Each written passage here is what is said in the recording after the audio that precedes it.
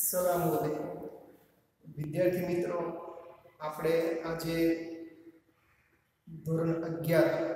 આંકડાશાસ્ત્ર જેમાં પ્રકરણ એક માહિતી એકત્રીકરણ એમાં થોડા આપણે આગળ જઈશું. તો ગયા પીરિયડમાં આપણે પ્રાથમિક માહિતી મેળવવાની બે એટલે કે પ્રત્યક્ષ રીત અને પરોક્ષ રીત,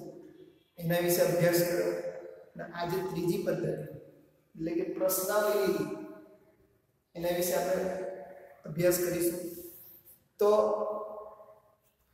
આપણે ગયા પીરિયડમાં થોડી જે ચર્ચા કરી એના વિશે તમને માહિતી આપી દઉં કે પ્રત્યક્ષ રીતમાં આપણે જોયું હતું કે ભાઈ આનંદ જિલ્લાના ખંભાત તાલુકાના ખેડૂતોની પરિસ્થિતિ વિશે આપણે માહિતી મેળવવી છે તો જાતે જઈને ખેડૂતની રૂબરૂ મુલાકાત લઈને માહિતી મેળવીશું તો એ પ્રત્યક્ષ હતી. પરોક્ષ તો કે ખેડૂતની મુલાકાતના બદલે જે તે તલાટી જેની પાસે ખેડૂતોની માહિતી છે, તેની મુલાકાત લઈશું. અને એની પાસે ખેડૂતોની જે માહિતી છે, તે મેળવીશું. એ પરોક્ષ રીતે. હવે આજે આપણે ત્રીજી પદ્ધતિ છે, કે પ્રશ્નાવલી રીત. તો એના વિશે લખ્યું છે, અભ્યાસ સંબંધી અનુરૂપ તર્કબદ્ધ રીતે ક્રમમાં ગોઠવેલા પ્રશ્નની એક યાદી બનાવવામાં આવે છે આ પ્રશ્નો વચ્ચે તેમના ઉત્તર લખવા માટે જગ્યા રાખવામાં આવે છે આ રીતે તૈયાર કરેલ પ્રશ્નોની યાદીને પ્રશ્નાવલી કહેવામાં આવે છે આવા પ્રકારની પ્રશ્નાવલી દ્વારા માહિતી મેળવવાની રીતને પ્રશ્નાવલી રીત કહેવામાં આવે છે તો વિદ્યાર્થી મિત્રો આ એક પ્રશ્નાવલી રીત જે આપણે એક કોષ્ટક સ્વરૂપે પ્રશ્નો આપેલા હોય છે ઉદાહરણ તરીકે વિદ્યાર્થીનું નામ પછી વિદ્યાર્થીની જાતિ પછી ઉંમર અને જે પ્રકારનો અભ્યાસ છે માહિતીનો એ વિશેના બધા પ્રશ્નો હોય જેમ કે હું એમ કહું છું કે ધોરણ 11 ના વિદ્યાર્થીઓ મારે તેમના પહેરવેશ અંગેની માહિતી મેળવવી છે તો એમના પહેરવેશ અંગેની માહિતી મેળવવા માટે আমি એક પ્રશ્નની તૈયારી કરું છું તો મારો પ્રશ્ન કેવો હશે એક્ઝામ્પલ તરીકે સૌથી પહેલા નામ હશે વિદ્યાર્થીનું નામ એ ખાલી જગ્યા હશે એમાં વિદ્યાર્થી પોતાનું નામ લખશે ત્યારબાદ તેની જાતિ એ પુરુષ છે કે સ્ત્રી છે એમાં બોક્સ હશે ટીક આઉટ કરીશું પછી એની ઉંમર અથવા તો જન્મ તારીખ એ લખવામાં આવશે ત્યારબાદ પ્રશ્ન એના વધુ પહેરવેશના ભાઈ તમે શર્ટ પહેરો છો કે જબ્બો પહેરો છો છોકરી ડ્રેસ પહેરે છે કે બુરખો જે બી કંઈ હોય એ પ્રશ્ન પછી કોટનના પહેરે છે ફલાણા પહેરે છે એટલે કે ડ્રેસ બી પહેરે છે પછી બૂટ ચપ્પલ સેન્ડલ જે એટલે પહેરવેશ અંગે તો આ જે પ્રશ્નો છે એ પ્રશ્નો માટે જવાબ માટે જગ્યા રાખવામાં અને તૈયાર ફોર્મેટિંગ બનાવવામાં આવે જે બધાને આપવામાં આવે અથવા તો બધા પાસેથી કઈ પ્રકારના પ્રશ્નોની માહિતી તૈયાર કરીને જવાબો લેવામાં આવે તો એક આ પદ્ધતિ વિશેની વાત કરી કે જેમાં તર્કબદ્ધ રીતે ક્રમમાં ગોઠવેલા એટલે ક્રમ પણ એમાં તર્કબદ્ધ હશે અને એક યાદી બનાવવામાં આવે છે પ્રશ્નોની જે મેં તમને હમણાં સમજાવી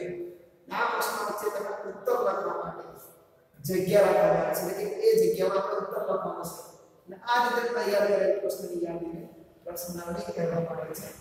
અને આવા પ્રકારની પ્રશ્નો દ્વારા માહિતી મેળવવાની રીતે પ્રશ્નાવલી ની રીત કહેવામાં આવે છે. તો વિદ્યાર્થી મિત્રો અહીંયા પ્રશ્નાવલી દ્વારા માટે બે રીતો છે. એક છે આગળના દ્વારા. જે માહિતી મેળવવા હોય છે, પ્રતિનિધિ, એને આપણે આગળના કરીશું અને એટલે કે આગળ જાતે માહિતી લેવા જે ઉત્તરદાતા છે, જેની પાસેથી માહિતી લેવાની છે, એની પાસે જતો નથી, પરંતુ ટપાલ દ્વારા પ્રશ્નાવલી મોકલી દે છે. એ જાતે નથી જતી એટલે કે ટપાલ દ્વારા એ પ્રશ્નાવલી મોકલીને એને જવાબ મેળવવામાં આવે છે આના વિશે આપણે ઘણા આ બાજુ ફરી ફરી થોડી થોડી વાર પછી આપણે ચર્ચા કરીએ એ પહેલા કેવા પ્રકારના પ્રશ્નો હોવા જોઈએ એની પહેલા ચર્ચા કરી લઈએ પ્રશ્નનો જવાબ તો આપણે બંને રીતે લઈશું આગળ પહેલા આગળ ટપાલ દ્વારા પ્રશ્ન કેવા હોવા જોઈએ તો એને એટલે આદર્શ પ્રશ્નાવલીના લક્ષણો કે પ્રશ્નો અવાજ હોવો જોઈએ એમાં પહેલું કે સંબંધિત યોગ્ય શીર્ષક હોવું જોઈએ તો જેની માહિતી મેળવવાની છે હમણાં તમને કહ્યું મારે પહેરવેશ અંગેની માહિતી મેળવવી છે તો હું મારો હેડ શું હશે તો ધોરણ 11 ના વિદ્યાર્થીઓના પહેરવેશ અંગેની માહિતી અંગેના પ્રશ્નો તો હેડ એવો હોવો જોઈએ પછી બીજું હેડ કે ધોરણ 11 ના વિદ્યાર્થીઓને ખાણી પીણીની માહિતી તો એ હેડ બદલાઈ તો એ આખો પ્રશ્ન જુદો થઈ જાય એ પ્રશ્ન આખી પ્રશ્ન જુદી બનશે પહેરવેશ અંગેની જુદી બનશે કૌટુંબિક હશે એની જુદી બનશે વિદ્યાર્થીની તો સૌથી ઇમ્પોર્ટન્ટ શીર્ષક છે ત્યારબાદ પ્રશ્નોની સંખ્યા મર્યાદિત ને ઓછી એટલે કે લિમિટેડ પ્રશ્ન આપણે જોઈએ કે કોઈ માહિતી લેવી હોય તો એ લિમિટેડ હશે તો આપણે જવાબ સાચી રીતે આપીશું પછી બહુ જ પ્રશ્ન હશે તો એની એની માહિતી આપણે યોગ્ય રીતે નથી આપી શકતા એક તો એને મર્યાદિત પ્રશ્નો હોવા જોઈએ પછી પ્રશ્નોની સંખ્યા તપાસના હેતુ સાથે સુસંગત જો જે તપાસનો આપણે હેતુ હતો પહેલા દેશની તો એને સુસંગત હોવું જોઈએ પછી આપણે એવું કે તમે શું ખાવ છો તો આપણે પ્રશ્ન પહેલે શકે ખાવાના સંદર્ભમાં એ પ્રશ્ન ના એને સુસંગત હોવા જોઈએ શીર્ષક છે કે પ્રશ્ન ટૂંકા સરળ અને સમજી શકાય તેવા તમે સરળતાથી સમજી શકો પ્રશ્ન ટૂંકો હોય અને જવાબ પણ આપવાનો ટૂંકો હોય એવા પ્રશ્નો હોવા જોઈએ પ્રશ્નોની ગોઠવણી તાર્કિક અહીંયા વ્યાખ્યામાં પણ આવી ગયું છે. તર્કબદ્ધ એટલે તાર્કિક ગોઠવણી એટલે કે એનો ક્રમ બી યોગ્ય હોવો. ઉદાહરણ તરીકે આપણે કોઈને પ્રશ્ન એવો પૂછે કે ભાઈ સ્માર્ટફોન અંગે તમારું શું મંતવ્ય છે? તો પેલો વિદ્યાર્થી આગળ તો સ્માર્ટફોન નહીં વાપરતો હોય. તો એ એનો જવાબ નહીં આપી શકે. તો પ્રશ્નનો ક્રમ કેવો હોય છે કે પહેલા તો એને પૂછવાનું કે ભાઈ તમે મોબાઈલ ફોન વાપરો છો? પહેલો પ્રશ્ન. બીજો પ્રશ્ન. હા છે, જવાબ અગર હા છે હા હોય તો બીજો પ્રશ્ન શું હોવો જોઈએ? કે તમે કયો ફોન વાપરો છો એન્ડ્રોઈડ કે સાદો ફોન તો જો એનો જવાબ હા એન્ડ્રોઈડ ફોન તો જો એન્ડ્રોઈડ ફોન વાપરતા હોય કે સ્માર્ટફોન વાપરતા હોય તો પછી તે અંગે તમારું મંતવ્ય જણાવો તો આ એનો ક્રમ થયો ડાયરેક્ટ પૂછવામાં આવે તેનો જવાબ યોગ્ય પણ નહીં મળી શકે તો પ્રશ્નનો જે ક્રમ છે તે પણ એક યોગ્ય ક્રમ હોવો જોઈએ ત્યારબાદ લાગે સંબંધ અથવા અંગત જીવનને લગતા પ્રશ્નો પૂછવાનું કારણ કોઈ વ્યક્તિ અંગત જીવનની જે ઘટનાઓ છે અથવા અંગત જીવનનો પ્રશ્ન છે અને સેલેરીને લગતા એટલે કે આવકને લગતા પ્રશ્નો એ ખાસ કરીને ટાળવું જોઈએ સાતમું છે પ્રશ્નનો જવાબ કોઈ પણ પ્રકારની ગણતરી વગરના હોવા જોઈએ એને ગણતરી કરવા માટે ટાઈમ આપવો પડે એવા પ્રશ્નો નહીં કે ભાઈ તમે આખા વર્ષમાં કેટલા દિવસે બહાર ગયા છો કેટલા દિવસ ઘરે રહ્યા છો આવી ગણતરી કરવી મુશ્કેલી છે અને એવા પ્રશ્નો પૂછવા બી યોગ્ય નથી ત્યારબાદ જે પ્રશ્નો છે, હા, કે ના કે તેની વધારે વિકલ્પ હોય તેવા પ્રશ્નો પૂછવા જોઈએ. એટલે કે જેમાં વિદ્યાર્થી જેને પણ એવું નહીં, વિદ્યાર્થી માટે પ્રશ્નાલી હોય, બીજા અન્ય વ્યક્તિઓ માટે પણ પ્રશ્નાલી હોય છે. એ પ્રશ્નાલીમાં જે જવાબો છે, એ એના માટેના વિકલ્પો સરળતાથી મળી જાય. તો એવા, કે ભાઈ તમે મુસાફરી, એક દાખલા તરીકે આપણે મુસાફરી સેના દ્વારા કરો છો. આપણે એના વિકલ્પ આપી દઈએ કે ભાઈ બસ દ્વારા ટ્રેન દ્વારા રિક્ષા દ્વારા કે પોતાના વ્હીકલ દ્વારા આ ચાર વિકલ્પ હોય તો એ ચાર વિકલ્પમાંથી સહેલાઈથી પોતાનો વિકલ્પ ટીક કરશે કે હું બસ હું પોતાના વ્હીકલ દ્વારા આવું છું તો હું શું ટીક કરીશ કે મારા પોતાના વ્હીકલ દ્વારા હા હું પોતાના વ્હીકલ દ્વારા નથી આવતો બસ દ્વારા આવું છું બસ દ્વારા ટીક કરીશ એવો વિકલ્પ વાળો પ્રશ્ન હોવો જોઈએ જેથી કરીને માહિતી આપનારને બહુ વિચારવાનો બી એ નહીં ને બહુ એના માટેના સમય કોઈ બગાડવાના પણ તરત જવાબ મળી જાય તો આ આદર્શ પ્રસ્તાવના લક્ષણો એ પ્રશ્ન કેવા હોવો જોઈએ તે આદર્શ એટલે આઈડલ ક્વેશ્ચન આદર્શ પ્રસ્તાવ કેવો છે ત્યારબાદ આપણે આજે પદ્ધતિની વાત કરતા પ્રશ્નની દ્વારા માહિતી એકત્રિત કરવા માટેની બે રીતો છે એની છે આંકડા દ્વારા અને બીજી છે ટપાલ દ્વારા તો વિદ્યાર્થી મિત્રો સૌથી પહેલા આપણે ટપાલ લઈએ છીએ આમ છે ક્રમમાં આગળ ટપાલ દ્વારા એટલા માટે કે ટપાલ દ્વારા જે પ્રશ્ન ટપાલ દ્વારા આપણે લઈશું એના જે પ્રોબ્લેમ છે એની જે સમસ્યા છે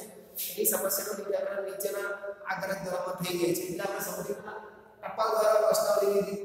તો એનો અર્થ આપે છે કે આદર્શ પ્રશ્નાવલી તૈયાર કર્યા બાદ એટલે કે આદર્શ પ્રશ્નાવલી છે એ આપણે તૈયાર કરો એક ઢાંચો તૈયાર કરો પ્રશ્ન જે ટાઈપના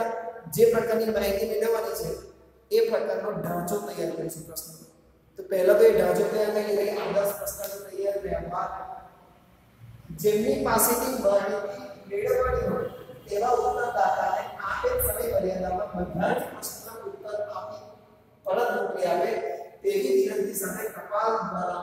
પ્રશ્નાવલી મોકલવામાં આવે છે તો વિદ્યાર્થી મિત્રો આમાં એક સમય મર્યાદા આપવામાં આવે કે કોઈને આપણે માહિતી લેવી છે ને દૂર છે અથવા તો ટપાલ દ્વારા આપણે માહિતી લેવી છે તેને આપણે અહીંયા પ્રશ્નો એક જે ઢાંચો છે તૈયાર કરેલા ઢાંચાના અંદર એ જે પ્રશ્ન છે એ પ્રશ્નને આપણે કવરમાં મૂકીશું ને કવરમાં મૂકીને એના એડ્રેસ પર મોકલી આપીશું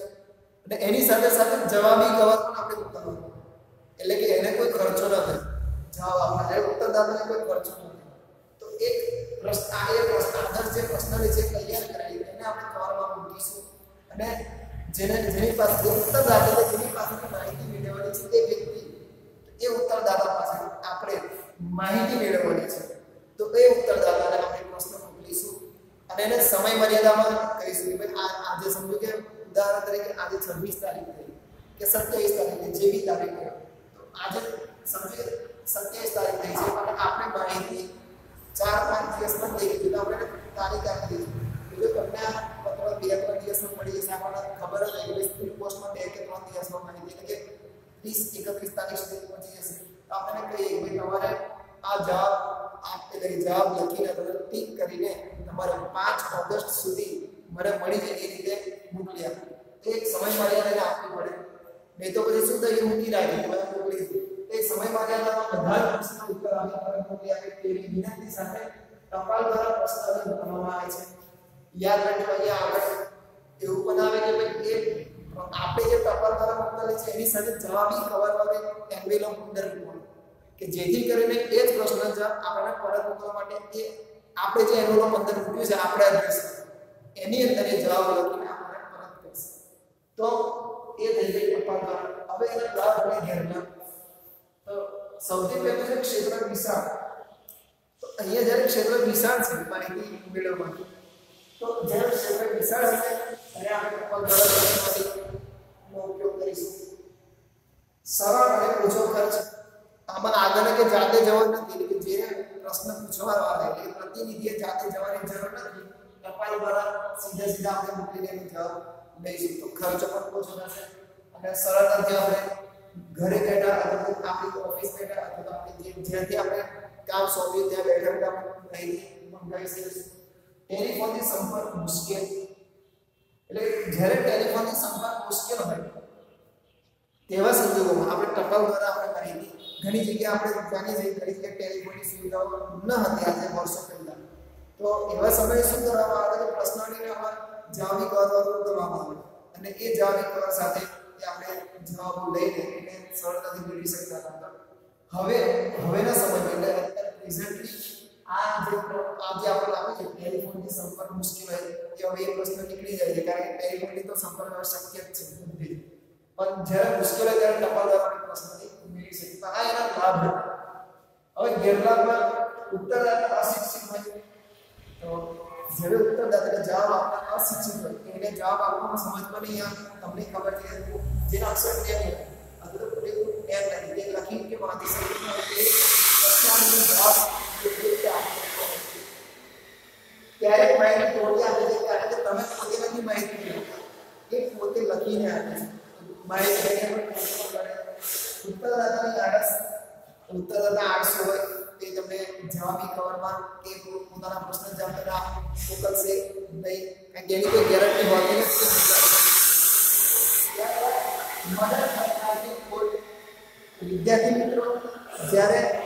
એ પ્રશ્નાવલીની પાસે જતી રહે તમે અહીંયાથી મૂકી એને મળી ગઈ હવે એ જ પ્રશ્નાવલી લઈને પોતે બેસશે અને એને કોઈ મૂંઝવણ હશે પર મદદ કરનાર નહીં હોય. કેમ? તો કે એને તો પ્રશ્નાવલી આપણે મોકલી છે, ટપાલ દ્વારા. અને આપણે ક્યાં છે? એ ક્યાં છે? દૂર છે. તો એ શું થશે? તો એને મદદ કરવા નહીં મળે તે જવાબ યોગ્ય રીતે આપી શકતો એટલે કે જ્યાં ગૂંચવણ થાય, એ ગૂંચવણ પરિસ્થિતિમાં મદદ કરવાની જરૂર છે ટપાલ દ્વારા પ્રશ્નાવલીની રીતના ફાયદા અને ગેરફાયદા લાભ અને ગેરલાભ હવે બીજી છે આગળ દ્વારા પ્રશ્નાવલી એટલે કે પ્રતિનિધિ જાતે છે જેમાં આપણે પ્રત્યક્ષ માહિતી મેળવતા એ જ પ્રકારની આ છે કે આગળ પોતે જાય છે એટલે આ રીતમાં આ ઘરો પોતે ઉત્તરદાતાને રૂબરૂ મળે છે અને પ્રશ્ન જવાબ મેળવે છે એટલે કે હું પોતે મારે માહિતી મેળવી છે તો હું ઘરે ઘરે જાઉં છું વિદ્યાર્થીને એ પ્રશ્નાવલી લઈને બેસીશ કે બોલો ચલો તમારું નામ સરનામું તમારું જાતિ પછી તમારી જન્મ તારીખ અને જે કઈ વિગતો મેળવવાની છે તો જાતે જ એટલે આગળ જ જાતે જ હશે તો એ જ્યારે જાતે જાય છે ત્યારે આગળ ઘણા પ્રશ્ન પેલી વ્યક્તિ હોય છે તો તમે વિચારો કે ટકા પદ્ધતિ એટલે ટકા દ્વારા પ્રશ્ન કરતા આ આ રીત સારી છે તો એના લાભ પણ છે કે સાચી અને યોગ્ય માહિતી આપણે જાતે જોઈશું તો સાચી અને યોગ્ય માહિતી મેળવીશું કારણ કે આપણે જાતે પોતે પ્રશ્ન પૂછીને માહિતી મેળવી આ પ્રશ્ન છે બોલો ત્યારબાદ ઉત્તરદાતા અશિક્ષિત હોય ત્યારે યોગ્ય ખુલાસો આપી કે જ્યારે ઉત્તરદાતા શિક્ષિત નથી તો આપણે એને કહીએ કે જો આ પ્રશ્ન આવો છે તમને ભલે સમજમાં નહીં આવતું પણ હું તમને સમજાવું છું કે આમાં લખે છે કે ભાઈ તમારે કેટલું ભણેલા છો નથી ભણ્યા તો કઈ વાત નહીં ખાલી આ લખવાનું જ છે તો આપણે એને પ્રેક્ટિકલી સમજાવી શકીએ છીએ તો એ સમજાવીને આપણે ખુલાસો આપીને એની પાસેનો જવાબ મેળવી શકીએ છીએ પ્રશ્ન અહીં ગેરવર્ગે જવાબ એટલે અઘરી માહિતી મળવાનો પ્રશ્ન ઉપસ્થિત થતો નથી ગેરવર્ગે નહીં કારણ કે આપણે જાતે જ અને અઘરી પણ નહીં રહે કે આપણે જાતે પોતે તેનો જવાબ મેળવીશું. એટલે કે આ બધો પ્રશ્ન છે, એ પ્રશ્ન ઉપસ્થિત થવાના મળેલ વધારે વિશ્વસનીય કારણ કે આપણે જાતે મેળવી હશે તો માહિતી એકદમ ચોક્કસ અને સચોટ હશે આ એના લાભ છે. હવે ગેરલાભ પણ છે કે નિષ્ણાત આગ્રહમાં મેળવવાનું મુશ્કેલ તો હવે વિચારો, ફાયદા છે એવા ગેરફાયદા પણ છે. કે જ્યારે દરેકના ઘરે જઈને એ પ્રશ્નની દ્વારા આપણે જવાબ મેળવવાનો છે તો જ્યારે વિશાળ છે વધારે લોકો પાસે માહિતી મેળવવાની છે અને ત્યારે નિષ્ણાત આગ્રહ એટલે જેને જે પ્રતિનિધિ આપણે મોકલવાના છે બધા નિષ્ણાત પણ હોવા જોઈએ પોતે શિક્ષિત પણ હોવા જોઈએ જે પોતે શિક્ષિત નિષ્ણાત નહીં હોય તો જે ઉત્તરદાતા છે એટલે કે જવાબ આપનાર છે એની પાસેથી યોગ્ય રીતે ખુલાસો મેળવીને એ જવાબ મેળવી શકશે નહીં ત્યારબાદ ખર્ચમાં વધારો તો તમને ખબર છે ટપાલ દ્વારા તમે એની પોસ્ટ કરશો તો વધી જશે પણ પેલામાં આગળ જાતે મોકલવા પડશે. ઘરે ઘરે રૂબરૂ. એ બધા આગળ મોકલવા માટે સમય પણ લાગશે અને ખર્ચ પણ થશે. તારીખ આપવાનું કાર્ય મુશ્કેલી તો જેટલા બી આગળ આપણે મોકલવાના છે, એટલે કે પ્રતિનિધિને મોકલવાના છે બધાને યોગ્ય રીતે તાલીમ આપવી પડતી હોય છે. કે ભાઈ તમારે આ રીતે જેમ કે એલઆઈસી એજન્ટ, તમને ખ્યાલ હશે. એલઆઈસી એજન્ટ છે, એ વીમો જ્યારે ઉતરાવવાનો હોય કોઈને એટલે કે વીમો કઢાવવાનો હોય, ત્યારે કસ્ટમર પાસે જશે અને કસ્ટમરને કન્વિન્સ કરે છે એટલે કે કસ્ટમરને સમજાવે છે ફાયદા સમજાવે છે વીમા તો એ ફાયદા એ ક્યારે સમજાવી શકે છે કે જ્યારે એને તાલીમ લીધી હોય આવા જેટલા બી વીમા એજન્ટ છે એટલે કે જેને આપણે આગળ કહીએ છીએ તે વીમા એજન્ટોએ તાલીમ લીધી હોવી જોઈએ એ તાલીમ આપવા માટે કંપનીને ખર્ચ કરતો હોય છે તો એ તાલીમ આપવા કાર્ય પણ મુશ્કેલી ભરી છે કારણ કે બધાને તાલીમ આપો અને તાલીમ આપે પછી એમને પ્રશ્ન મોકલો ત્યારબાદ ઉત્તરદાતા વિશાળ ક્ષેત્રમાં ફેલાયેલા આ એક અયોગ્ય જ્યારે ઉત્તરદાતાને ઘણી ઘણી જગ્યાએ છે અલગ અલગ જગ્યાએ તો બધા પાસે જવું અલગ અલગ વિસ્તારમાં જવાનું તો એ થોડું અયોગ્ય પણ છે કારણ કે બધા પાસે જવા માટે આપણે સમય પણ જોઈએ અને અલગ અલગ જગ્યાએ જવા માટે ખર્ચ પણ થાય છે તો જ્યારે વિશાળ ક્ષેત્રમાં ફેલાયેલા હોય ત્યારે આ રીત અયોગ્ય છે ત્યારબાદ સમયની અનુકૂળતાનો પ્રશ્ન તો ઘણી વખત એવું બને કે ભાઈ આપણે જેની પાસેથી માહિતી મેળવવાની છે એને ફોન કરી દઈએ ભાઈ હું આવું છું તો એ એની પાસે નવરાશ ન હોય એ ન હોય ત્યારે આપણી પાસે નવરાશ ન હોય એટલે બંનેની જે સમયની અનુકૂળતા છે એટલે કે બંનેને ફ્રી સમય હોવો જોઈએ જેમ કે હું પોતે મારી વાર મારી મને કોઈ વખત બેંકમાંથી ફોન આવે છે કે સાહેબ પડશો તો મેં તો એવું કહું છું રવિવારના દિવસે મળીશ સોમથી શનિ નોકરીનો સમય મળીશ તો બેંક મારે એવું કહે છે કે સાહેબ અમે બી રવિવારે રજા કરીએ છીએ તમે પણ નહીં આવી શકો તો આ બંનેનો સમય મેચ થવો મુશ્કેલ છે. તો એવા સમય? એટલે કે બંનેના સમયની અનુકૂળતા અનુકૂળતા લાવવા માટે ઘણો ટાઈમ બગડે છે કે એ યોગ્ય રીતે એનો ખુલાસો કરવો. નથી આ એક ગેરલાભ થયા વિદ્યાર્થી મિત્રો, આપણે આજે બે સમજ્યા. એક પ્રશ્નાવલી રીતમાં આધાર દ્વારા અને ટપાલ દ્વારા. તો બંને પદ્ધતિના લાભ અને ગેરલાભ સમજી લીધા છે. આ મેં ટૂંકમાં અહીંયા લખેલો છે તમારા ચોપડામાં વ્યવસ્થિત અને સમજી લેવું ચોપડીમાં પણ આપેલું છે. પરંતુ અહીંયા જે લખ્યું છે ટૂંકું ને સરળ ભાષામાં લખેલું છે તો વ્યવસ્થિત ઉતારી લેવું અને નેક્સ્ટ જ્યારે આપણે એકમ કુશળીનું આયોજન છે ઓગણત્રીસ અને ત્રીસ તારીખે તો એ વખતે આ જ પ્રકરણમાંથી તમને પ્રશ્ન પૂછવામાં આવશે અને વિકલ્પો પણ પૂછવામાં આવશે તો તમારે વ્યવસ્થિત રીતે તૈયારી કરી લેવી અને આગળ જે બાકી છે થોડું ઘણું એ ખાલી વાંચી લેવાનું કારણ કે આગળના જે પ્રસ્તાવનાને આપણે આગળ જે સમજૂતી આપી છે તેમાંથી જ આપેલું છે અને તે છતાં કશું તમને ન આવડે તો આપણે ફરી એકવાર સમજાવીશું ત્યાં સુધી લખવાનું